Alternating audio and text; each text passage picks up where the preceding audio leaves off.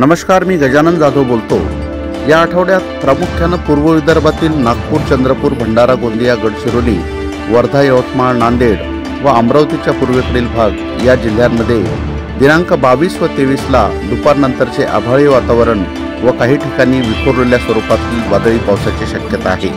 राज्यातील उर्वरित भागात हवामान स्थिर राहील. मान्सून दहा जूनपूर्वी विदर्भ मराठवाडा व खानदेशात अपेक्षित नाही. यावर्षी अल्निनोचा प्रभाव राहणार असल्यानं सरासरीपेक्षा एक जून ते तीस सप्टेंबर दरम्यान एकंदरीत सरासरीपेक्षा थोडा कमी पाऊस राहू शकतो किंवा पावसात थोडे खंड पडू शकतात असा अंदाज आपल्या हवामान अभ्यासकांनी व्यक्त केला आहे. मात्र यामुळं घाबरण्याची गरज नाही एखादं वर्ष याला अपवाद सुद्धा होऊ शकतो. तरीसुद्धा अशा परिस्थितीवर मात करण्यासाठी पावसाचा प्रत्येक थेंब जमिनीत साठवणं गरजेचं असतं. त्यासाठी जमिनीची मशागत करणे उताराला आडवी नांगरणी करणे उताराला आडवी पेरणी करणे बी बी एफ पद्धतीनं पेरणी करणे इत्यादी गोष्टींचा वापर करून पाणी शेतात जिरवणं महत्त्वाचं असतं.